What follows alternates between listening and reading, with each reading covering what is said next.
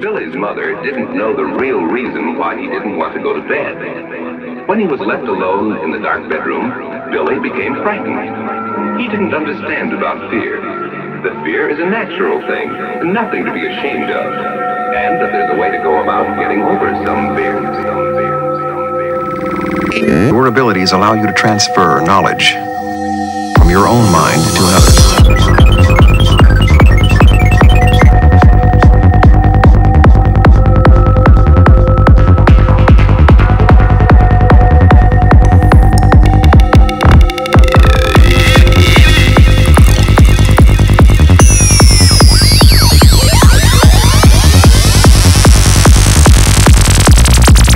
To share our experiences a telepathic